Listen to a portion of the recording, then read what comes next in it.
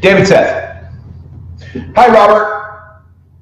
I'm a tenor, and I can attack high notes like D5. Pretty impressive, David.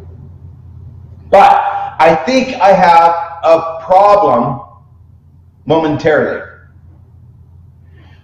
I can't hold notes easily like an A4 sharp, all right, B flat, A sharp 4.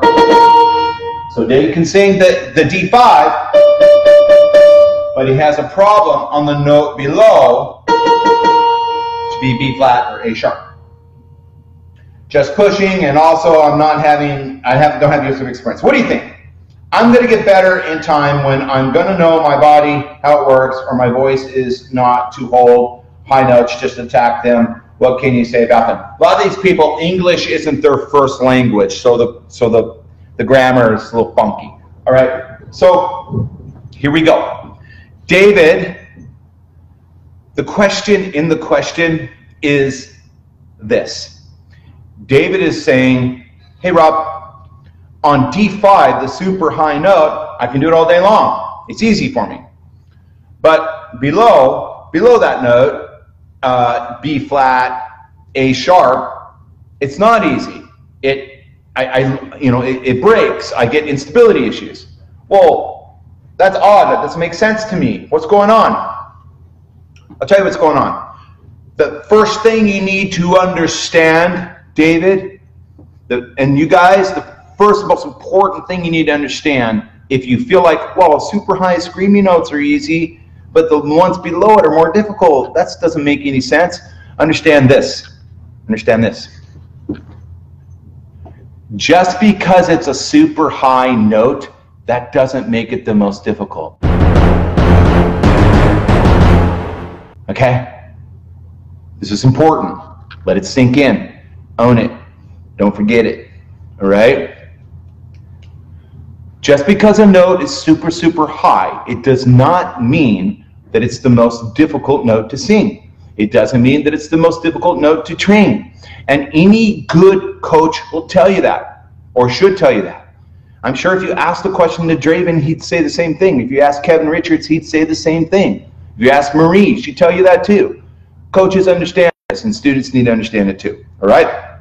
So, David, you need to you need to remove this confusion and notion that oh because it's super high and screamy that somehow that makes it the mo- that makes it more difficult. Typically not all right? Um, super high screaming notes are usually eh, there might be some exceptions uh, again depending on the individual and the vowel and different things that are happening. But as a general rule the super high notes are typically a lot more diff a lot more easier excuse me than notes that are a little bit lower. Notes around a four, for example, which which you're talking about. It's A sharp, A sharp, A, A, A sharp, around A4, and for men, for men, around A4 and around E4. Okay? Those are bridges. Those are register bridges. Those are places where the resonance has to shift.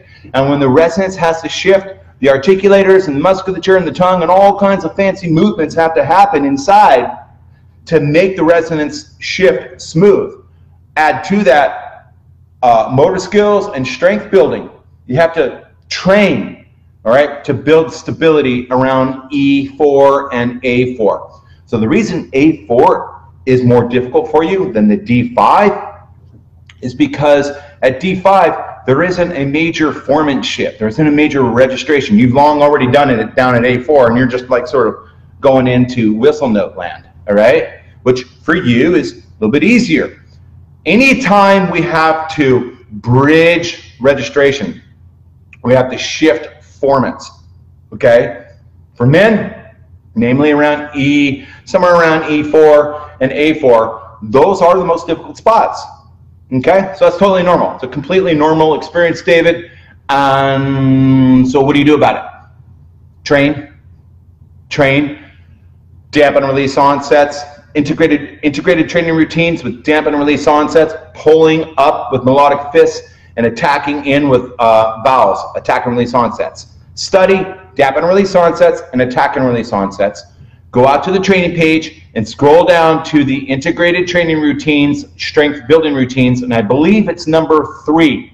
Okay? So, training page, uh, phase, uh, module three, training page, module three, strength building workout number three. Write this down. Has dampen and release onsets, plosive onsets, pulling melodic fists to the top, and then in with glottal attacks back down. It's an integrated training routine for belting. Do that through E and through A over and over again, okay? And you'll get stronger. Now, also, David, it's important that your vowel and your resonance is correct as well. You have to manage two things here, the physiology of singing, okay, and you have to manage the acoustics as well, both of them, all right? So the workout that I gave you will help build the physiology, those dampen and release onsets and those glottal attacks. That's the physiology piece. Now I'll give you a quick tip here, David.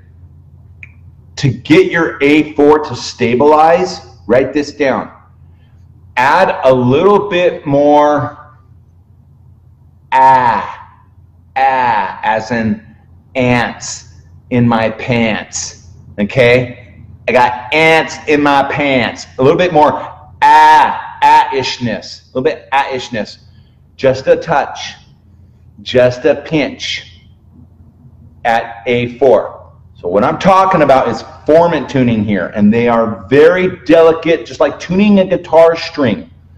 We add a little bit of ah-ishness to the sound color, all right, that you're singing approximately around A, B flat, and I'll guarantee you, David, that that A4 will open up for you, okay?